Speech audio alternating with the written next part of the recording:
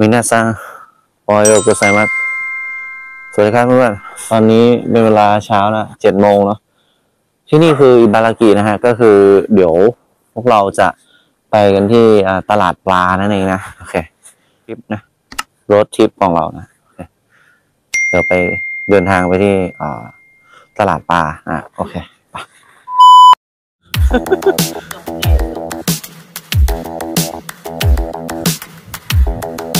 อ้ยโยโกไซมะ เอาละครับทุกคนเดี๋ยว ผมจะออกเดินทางนะครับ จากตรงนี้นะ ไปที่อ่าอิชิโอกะนะครับเนาะป่ะล่ะมันมีชื่อไหม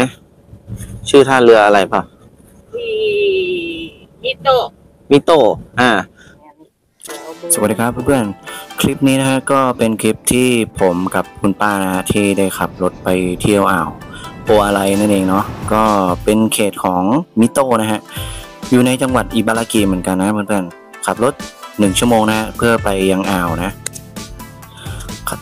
ในระหว่างทางนะก็พวกเราก็ขับรถไปเรื่อยๆนะแล้วก็ชมวิวข้างทางเนาะ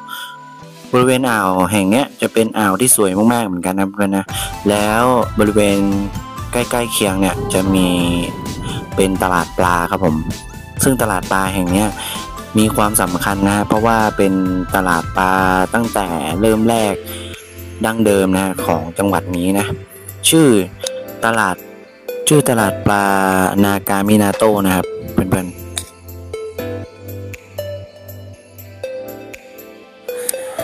เอาละครับเพื่อนๆเดี๋ยวผมถึงที่หมายละ ตอนนี้เราอยู่ที่อิบารากินะฮะก็ เดี๋ยวผมก็จะลงตรงนี้นะ เพื่อที่จะเข้าไป หาวิวนะวิวทัศน์นี่ครับเพื่อนๆจุดนี้เนี่ยเป็นอ่าวนะอ่าวทะเล โซนนี้เขาเรียกว่าโซนอ่ามิโต้นะฮะวัด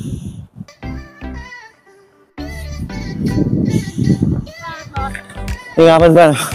ๆทะเลของอ่าอิบารากินะก็คือ ฝั่งตรงนี้เป็นทะเลตะวันออกนะฮะ ก็ตรงนี้ ทะเลแปซิฟิกนั่นแหละเนาะครั้งแรกนะที่ผมมาริมทะเลชายหาดของตรงนี้นะขับรถปลาพาเที่ยวนะโอเค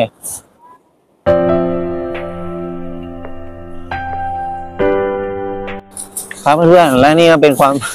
สวยงามกับทะเลของฝั่งอ่าวมิโต้นะฮะ ก็คือตรงนี้เป็นโซนของจังหวัดอิบารากิได้มาแวะ ได้มาแวะชมวิวนะวิวสวยมากเพื่อน ทะเลแปซิฟิก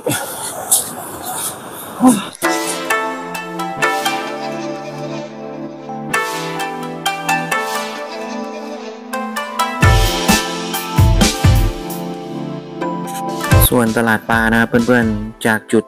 ที่อ่าวตรงนี้นะ ขับรถไปก็ไม่ไกลแล้วครับ จากนี้ไป 5 นาทีนะ ก็ถึงตลาดปลานะ ตลาดปลา นากามินาโตนะ ก็ เป็นอีกแหล่งนะที่นักท่องเที่ยวได้มาเยือนต้องไม่พลาดนะครับกับการทานอาหารทะเลนะแบบหมึกสดๆนะ อาหารที่สดๆเยอะเลยฮะที่นี่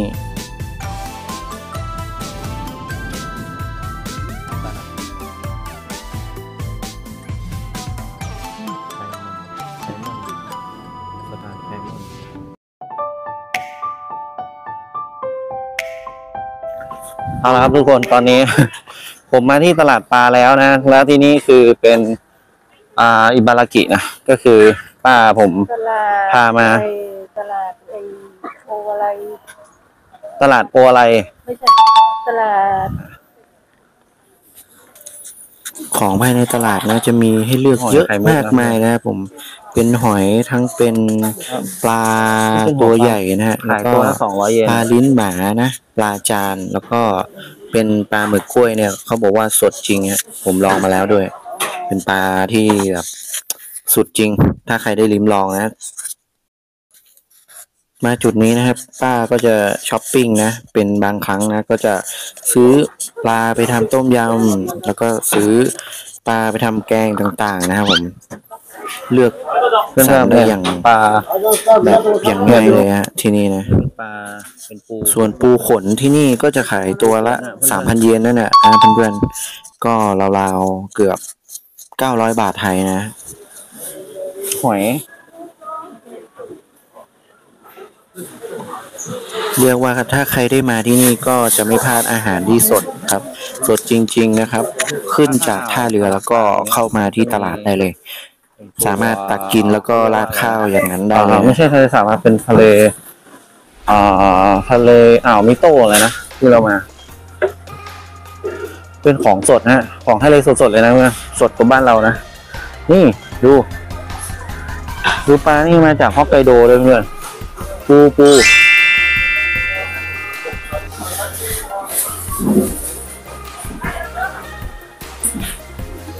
อ๋อป้าบอกว่าอันนี้เป็นปลาหมึกนะแต่ตัวนี้ผมไม่แน่ใจว่าเป็นปลาอะไรนะ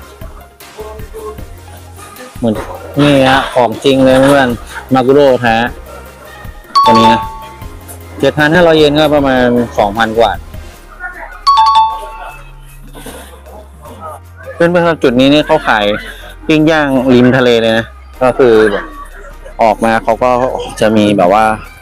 ย่างสดๆตรงนี้เลยนะฮะเป็นร้านที่ สำหรับนักท่องเที่ยวจริงๆนะ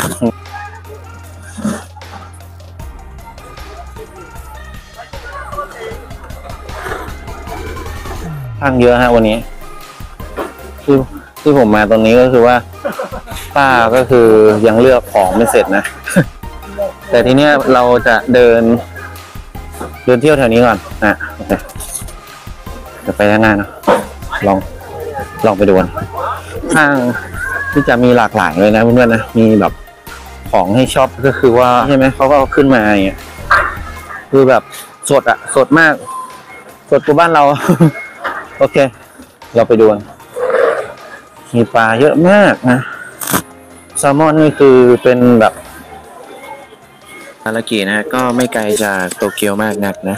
การเดินทางไม่ยากฮะใช้สายโจบันไลสายสีน้ำเงินนะ เดินทางจากตัว ตัวเกียวออกมานะก็ประมาณหนึ่งชั่วโมงครึ่งนะครับผมจุดนี้นะเพื่อที่จะมาลงที่อิชิวกะหรือคันดาสึได้เลยนะหลังจากนั้นให้เพื่อนๆทำการต่อรถนะฮะเพื่อที่จะเข้ามาตลาดแห่งนี้นะ ก็มีรถบัสราดซอสหรือว่าเป็นรถส่วนตัวก็ได้นะ เพื่อนๆแต่ถ้าให้แนะนำเป็นรถส่วนตัวจะดีกว่านะครับผม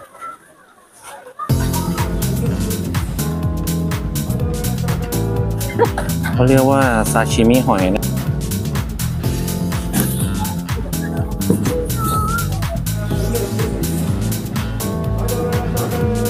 นี่เป็นปูปูขนแต่เป็นตัวเล็กนะเพื่อนนะนี่เหมือนหน้าซูชิปูครับผม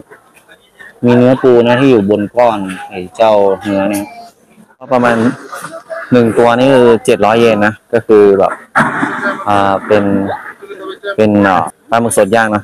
หนึ่งตัวก็คือเจ็ดร้อยเยน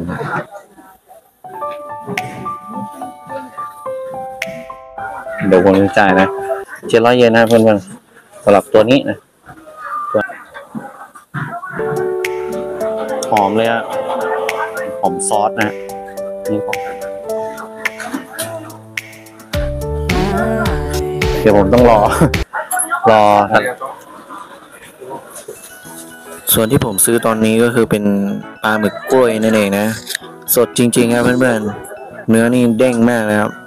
ตัวนี้นี่ราคาเป็นเจ็ดร้อยเยนใช่นะใช่โซ่โซ่ก็ก็ราวๆก็ก็โอเคประมาณเอ้ยกระโตะหนึ่งร้อยได้นะห้าสิบบาทนะร้อนๆแล้วเพื่อนใช่นะอืมสดมากคือเขาแค่ราดซอสอะอืม ต้องมากินที่ตลาดปลาโตนฮะอืมอืมมันยกของทะเลมา อยู่ตรงนี้เลยครับอืมอืมอืมก็มากกว่าเนาะอืมอร่อยอะ うん。